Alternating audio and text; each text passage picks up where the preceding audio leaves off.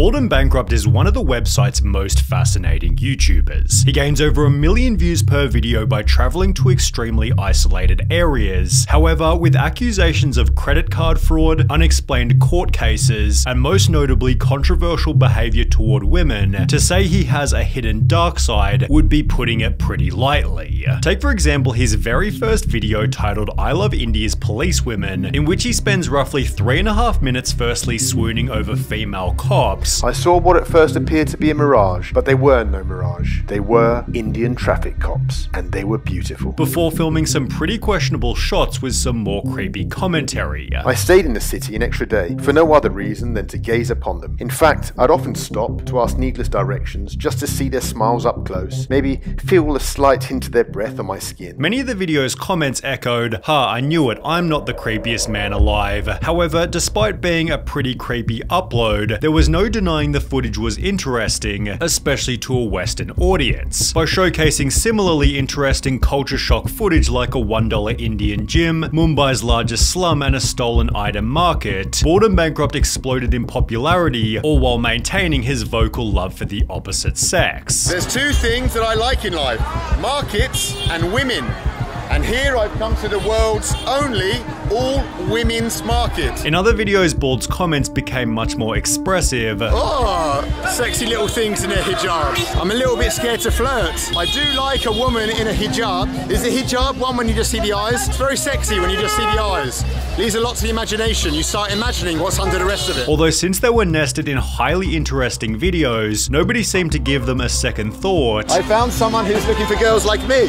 Where are the girls at? Let's find some chick chicks. Excluding what seemed to be one single person who wrote, maybe one thing this channel is missing is a little bit more respect for women. They're either pretty so they're like objects and creepily talked about, or they're big fat women with cankles. I love this channel but yikes it's weird, to which Bald actually replied, I have news for you. Men objectify every woman we see or meet. We place them in two categories, would fuck them or not. It's reality. If you think that is creepy, go ahead, but it doesn't change the facts of how men think, which had been commented on a video where Bald had stated this. Argentinian team has some hotties on it. Next stop, Argentina on the world tour, I think. But I have no actual interest in watching polo. Although watching some Argentinian girls bouncing around on a horse might be fun, I don't know. Any Argentinian people staying here?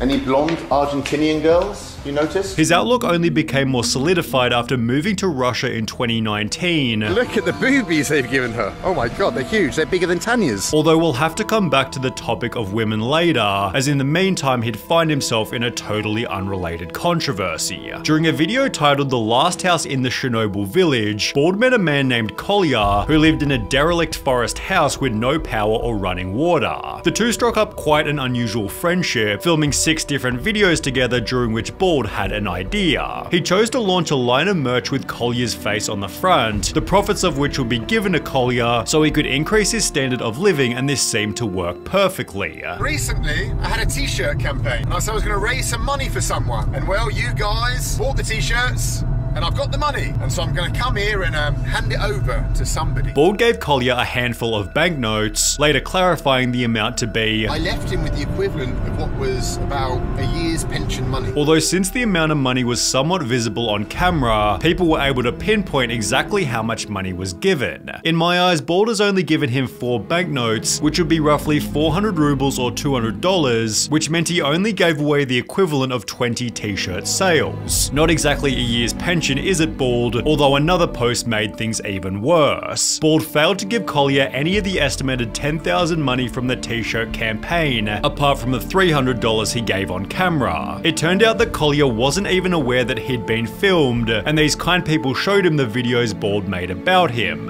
In Bald's defense, giving $10,000 to someone with a severe alcohol addiction might have also been a terrible idea. Don't spend too much on alcohol, but Kolya's his own man. I just hope we haven't killed Kolya. But while Bald and Bankrupt might have done the right thing here, there were more Russian controversies just around the corner. During an upload titled Would You Ride the Night Train to Chechnya, Bald was back to talking about women by stating, Hopefully at some point in the night at some stop a Chechen chick turns up and shares my compartment with me. And I can put on some romantic lighting. Salam alaikum, sister. However, as a result of calling Chechen women chicks, Bald was forced by the Russian government to apologize for the insult.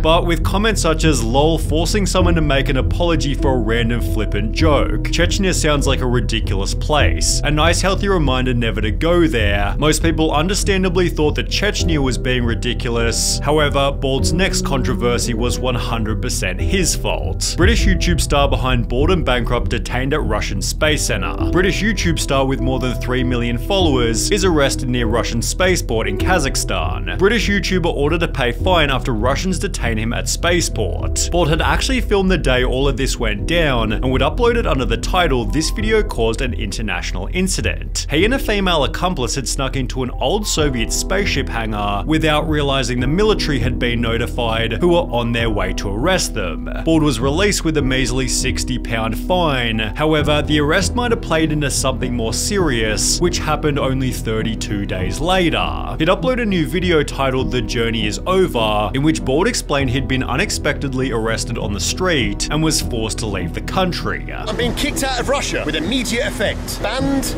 from coming back. In the months prior, Bald had called Putin crazy and shown his support for Ukraine, the reason for which was explained during a released interrogation video. He'd state, when you have a face on YouTube if you want to earn money, you need to say what people want to hear. If you don't, it will be a problem for you. Every YouTuber received an email from YouTube where they said you may only talk about the situation in Ukraine from the side of the Ukrainians. You can't tell it from the Russian point of view. If you do this, then you won't be able to earn money from advertising advertising on your channel, with the audience again taking Bald and Bankrupt's side. Bald was really smart here. He clearly just speaks what is needed to get out of that situation. That's what I would do, the only aim is to get out. Anyone who thinks that Mr. Bald is a hypocrite has never experienced an encounter with Russian authorities. He's an absolute genius and a certified legend. Besides, being thrown out of Russia meant he could go to some new countries, where in Syria he'd post a story to his Instagram, reigniting an old point of criticism. Discussions about about women. Me before visiting Syria thinking, must be hardcore there, probably going to be a week of no alcohol and must not look at girls on the street or else I'll be beaten up by angry brothers. Reality of Syria, guys inviting you to bars to drink and constantly telling you to go to Homs to see how hot the women are there. My kind of country. Just a few months prior, Bald had posted another story reading, throwback to six years ago when myself and HB were just a couple of red-pilled young chads traveling across Siberia having adventures adventures. We'd love to repeat those escapades and film them, but of course YouTube only allows for watered down versions of trips. Hashtag censorship sucks. Bald seemed to imply that during his trips, he'd seen more than just the local tourist spots, and as a result a subreddit was created titled Bald and Balder Dossier, deeply investigating Bald and Bankrupt's history. They'd find that Bald had used the online alias Vorkuta, which was the name of a small Russian town that Bald had spoken fondly of in an article that he'd written. A person who'd met Bald in real life also confirmed that Vorkuta was his alias, and you therefore might be wondering why is this important? Well, Vorkuta, who later changed his name to The Fantasist, was a prominent member of the pickup artist and sex tourist website RooshV Forum, where prior to beginning YouTube he'd talk about wanting to head to places completely off the track, where he could find provincial seedy nightclubs with puke-stained carpets and suburban housing estates full of disenchanted and hopeless girls, in which his white god status is maximized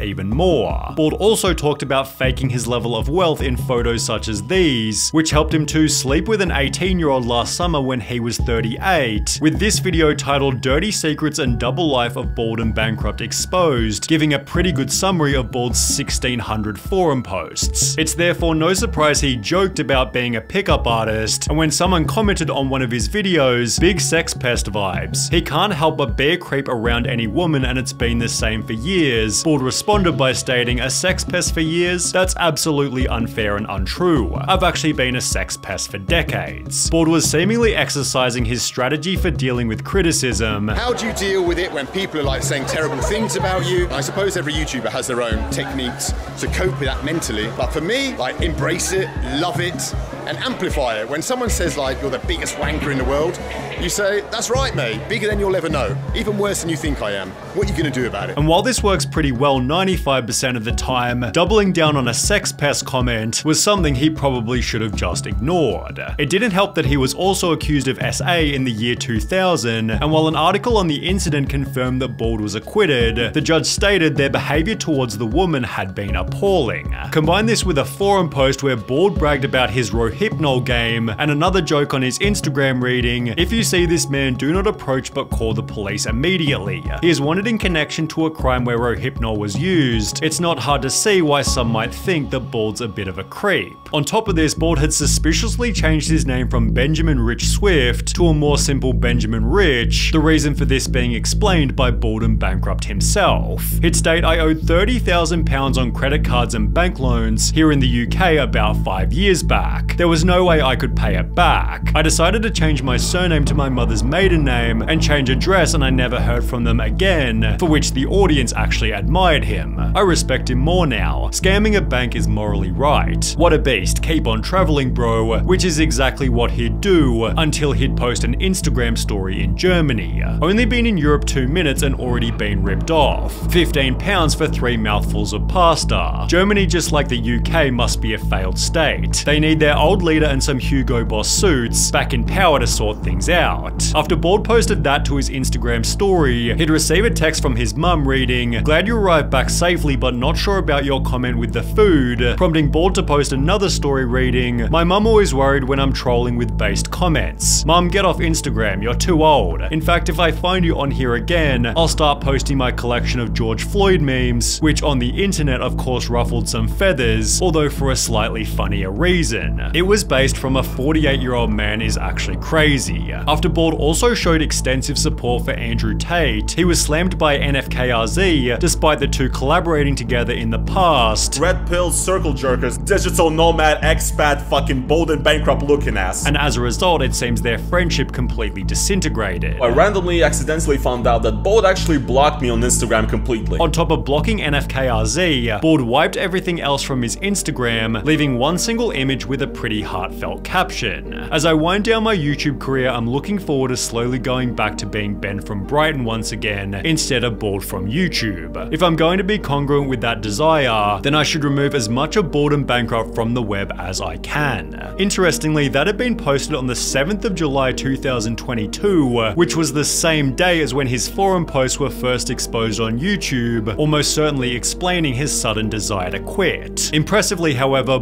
and Bankrupt soldiered on and continued uploading high quality content, possibly realizing he could only look to the future as he had no way of changing his past. However, in a recent interview with Joe Fish, Bald and Bankrupt stated that he'd pretty much completed his travels. I've been very, very fortunate, and I can say that I've pretty much ticked off everywhere I truly want to go. I'm more interested now in learning more about my home country than I am about seeing those other places. And while Bald has definitely had somewhat of a bumpy history, him quitting YouTube would be a depressing end to a channel loved by many with so much future potential blah.